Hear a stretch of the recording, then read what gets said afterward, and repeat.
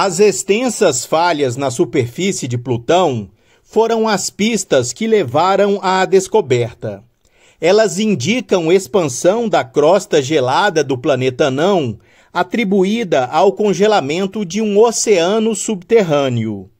O processo de acúmulo de material durante a formação de Plutão pode ter gerado calor suficiente para criar um oceano líquido que persiste sob uma crosta gelada até os dias atuais, apesar da órbita do planeta não ficar longe do Sol, nas frias regiões externas do sistema solar.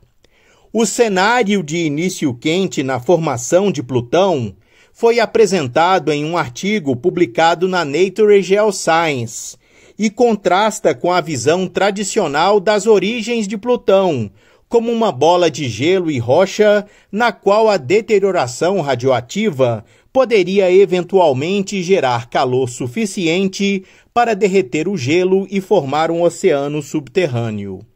As imagens da superfície de Plutão da missão New Horizons da NASA tornam possível comparar o que vemos com as previsões de diferentes modelos de evolução térmica como a água se expande quando congela e se contrai quando derrete, os cenários de partida quente e partida frio têm implicações diferentes para a tectônica e os recursos de superfície resultantes de Plutão.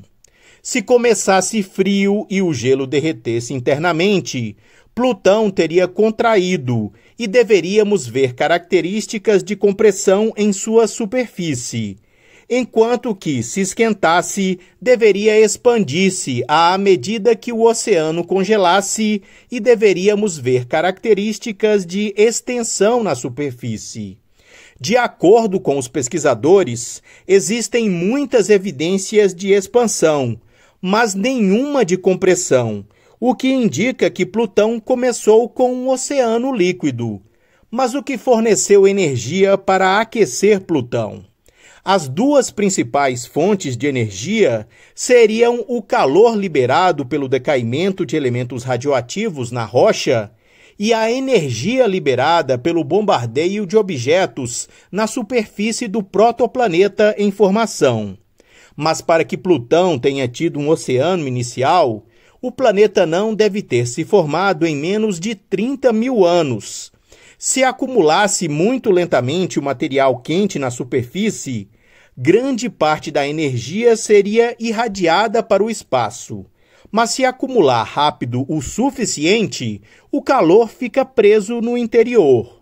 Se em vez disso a acumulação ocorresse ao longo de alguns milhões de anos, um início quente só seria possível se grandes impactadores enterrassem sua energia profundamente sob a superfície. As novas descobertas sugerem que outros objetos grandes do cinturão de Kuiper provavelmente também começaram quentes e poderiam ter oceanos iniciais. Esses oceanos podem persistir até os dias atuais nos maiores objetos, como os planetas anões Eris e Makemake.